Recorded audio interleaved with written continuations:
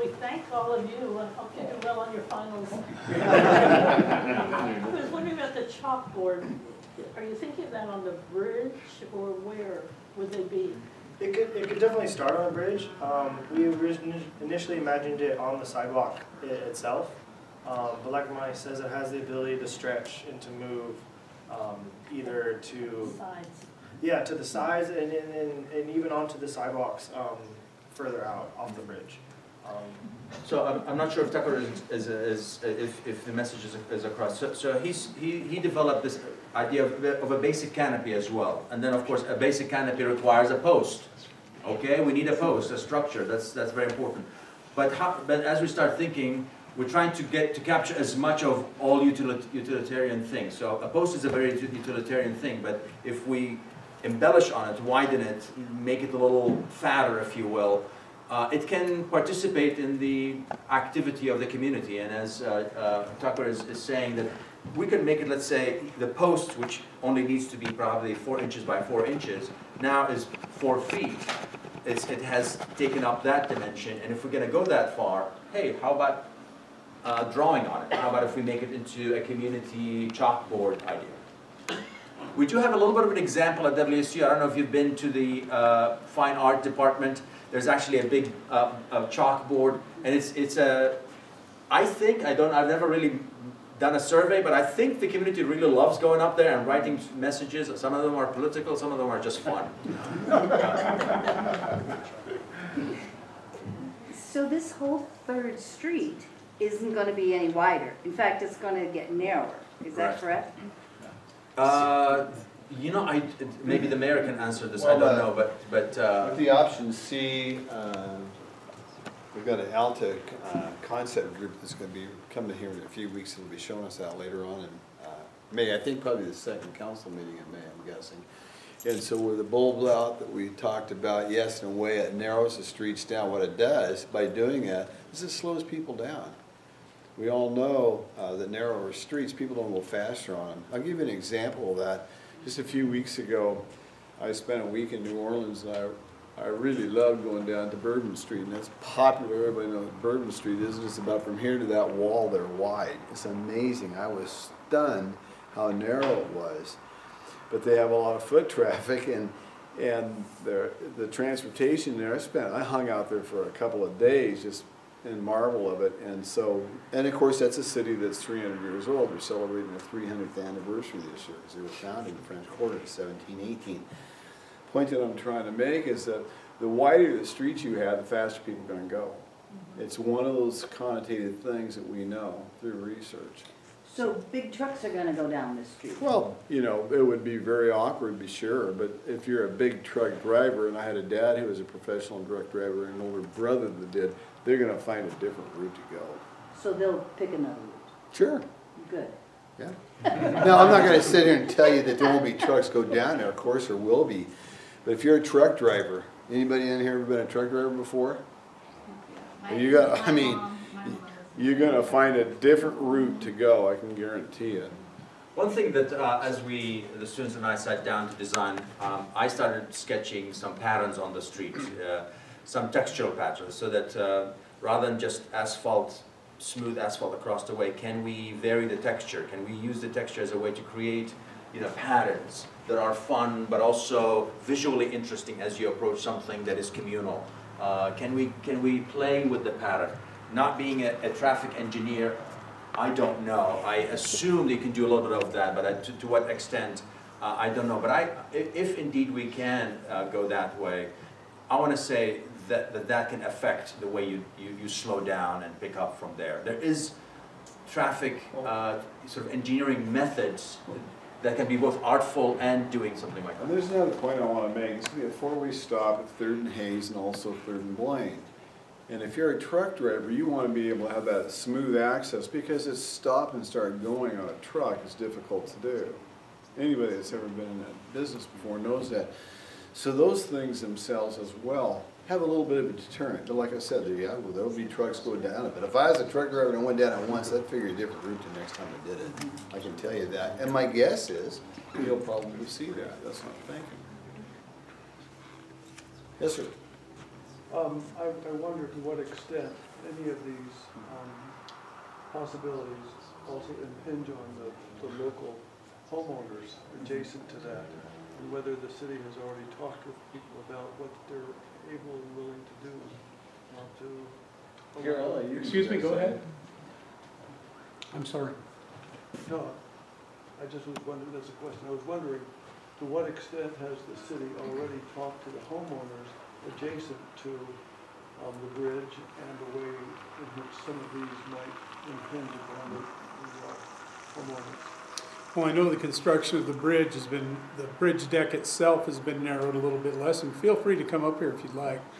Because of the constriction, if you will, and not uh, impacting the homeowners next to the, next to the bridge itself. Now, Les can talk about the impacts of the design of the street on the homeowners. Yeah, there have been discussions, uh, certainly with all those neighbors immediately around the bridge site.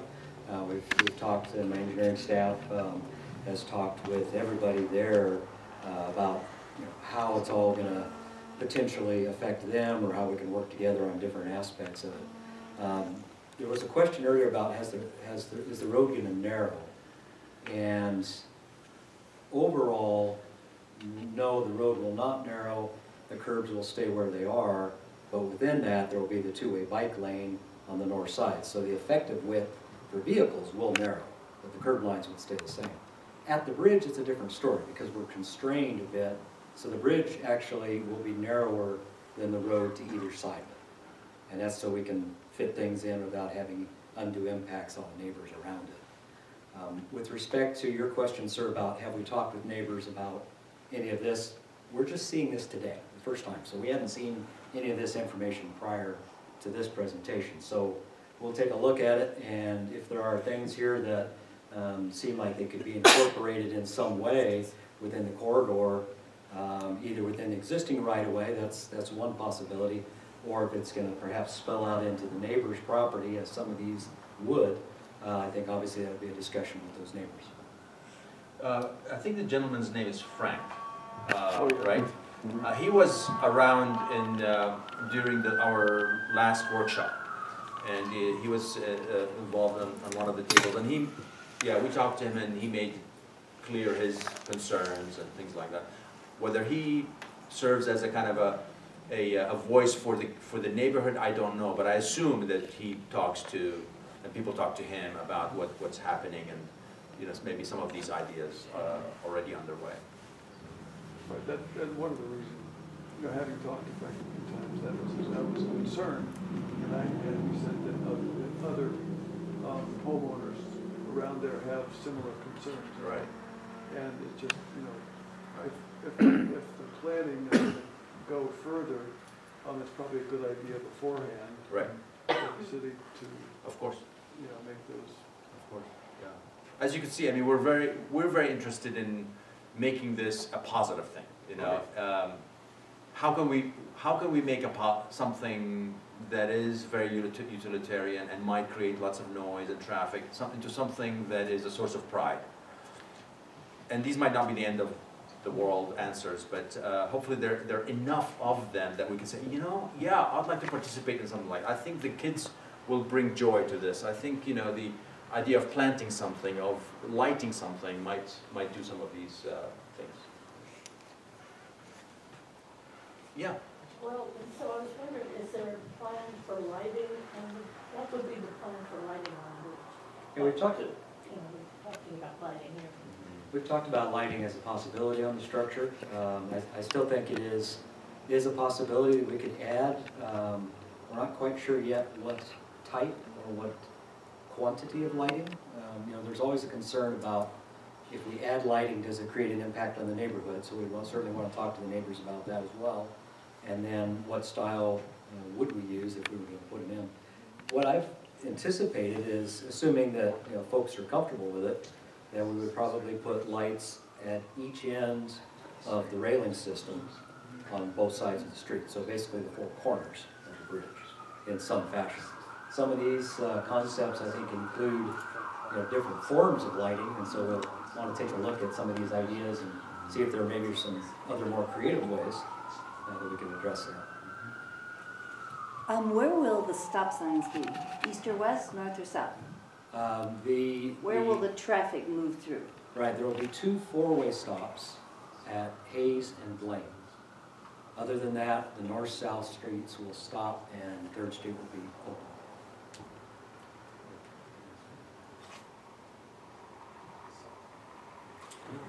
Come take a look.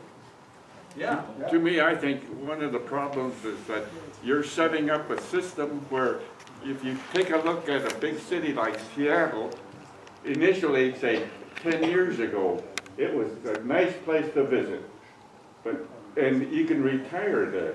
But if you look at what we have here in Moscow and I'm stressing the, the car, cars, you're gonna run into the same situation where if I, if people wanted to come to Moscow, they'd say there's too much traffic coming in to this place, and they, they won't stay here. Mm, yeah. No, I, I, I mean, the, the, the little bit of research that I've done about why people come to Moscow is precisely because uh, it, it is a tight-knit society. It is, uh, everything is within walking distance. It is precisely, at least psychologically, based on the idea that you can leave your car behind and never use it during the week or something like this and just walk everywhere. Um, so yes, I mean, I, I, I, it, is, it is well known that people move to a place like Moscow precisely because of that communal, highly well knit. Uh, uh, You can walk anywhere. yeah, exactly. I mean, which is why I uh, originally wrote the article. I mean, it, I, I, I said, you know, we, why would you want to deny something that brings people in? Actually, is sort of the source of a lot of pride and notoriety for a community like Moscow. Uh, but you know, we we've uh, gone beyond that at this point, so we're we're just trying to see if we there's something we can do given this uh, entity coming in. Yes, Jeff. Yes. So my question is, did any of your students consider making it a transit transfer station? The city doesn't own a lot of land out there, but it's kind of at a pivotal point. Um, Could use that fact that the city could manipulate the bridge to make a transfer place for multimodal. Uh, make it bigger and Yeah, or roof it, or Right. ways that buses would be able to start and stop. Right. You know, um, I, we did have a scheme that created a very nice roof. And I, am a little bit sensitive at this point to not alienate the community, not to go, oh, well, these people, you know, don't quite understand us as well. So I, I'm, I'm a little bit tentative. If, if we are invited to go that, that route, I, we have lots of ideas around that kind of design. At this point, I'm a little bit sensitive as to what has already been approved and it seems like underway. So I, I, I would love to make that a happy place and not sort of uh, alienate it in any way. But I think that's a, that's a fantastic idea, creating a, a kind of a canopy that, uh, that generates uh, light effects and color and texture, yeah. Yeah, I think, speaking to that, Nils, we do have a transfer, or a intermodal transit facility over on Railroad Street, which is, was designed for that purpose. Our biggest limitation is we just don't have a very big transit system. We have two routes right now, we're looking at maybe implementing a third.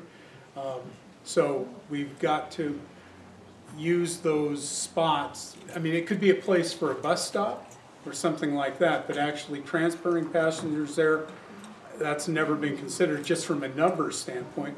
We haven't seen that need on that side of town or elsewhere in town. Uh, something, Gary, I wanna point out, this bridge is gonna be thirty-six feet across, where's Les at? Les, this bridge is thirty-six feet across? Is that the length of it? Uh, Width is thirty-six, length is about fifty-five. How much? Fifty-five, okay, so, so it's roughly, the whole thing is thirty-six by fifty-five tops. So it's, it's not like you have a humongous thing that you can do a big thing out of unless you wanna make it bigger, which to me, personally, to me, that doesn't make sense, cause I think there's other things we can do better. I, some of these designs up here, and I think the folks ought to get up and take a look at them, pretty nice They're designs. great designs, you did a great yeah, job, all great. four of you. Uh, And Thank so, you. Five. this, with this I'm substituting for a student. You know, uh, we have a, uh, Professor uh, Roman, we have a wonderful community here. We're very diverse. I'll give you some ideas. Somebody mentioned something about Seattle. Yeah, this is Moscow. When I came here in nineteen seventy-seven, There was, uh, right around sixteen thousand people, a little more than sixteen thousand people, so in forty years, we grew fifty percent. And we're up there, with- and that was student populace Yeah. as well, so we're roughly 25, 26,000 right now. And my guess is in forty years, uh, the way we grow, which is about one percent to less than one percent, which is very small growth, you're looking at thirty-nine thousand, another forty years, unless I live to be hundred and six. I doubt if I see it. The point I'm trying to make here is that That uh, community tightness, I think, will be here whether it's ten years from now, twenty years from now. thirty years ago or forty years from now, And I think people are very cognizant of it. We've got to be smart about how we do things, but of course, we need growth as well. We need growth to be able to do the various services and the things we do. And so how well we do it and how smart we do it. myself, I look at third, the Third Street corridor, and I'm really excited about it because I think It's going to bring us a lot of opportunities when we get like this Plan C into effect and we get the bike thing going. I think this is going to be a unique city in the state of Idaho. I'm just saying, I really believe that. and I think it's going to be something that can be modeled from, Absolutely. from other people. Uh, saying, man, and I think, I personally think, folks, uh, that down the road, three or four years from now, we're going to say, wow, that's kind of amazing. Maybe we should have done that a while back or something too, so. Anyway. Yeah, no, I agree. I think, um, as I may have mentioned in the article, I, I think uh, the- you've got something really special going on in downtown. That, that street is well loved by everybody. And the question, the, the- the challenge as a, as a, as an architect and a- maybe a visionary is that how can we spread the goods? How can we now make that central street also part of the edges? Uh, Obviously not replicated verbatim, but some of the good stuff there, can we, can we migrate it out to the, to the edge? And I think this is a, this is a wonderful spot to start. Yeah.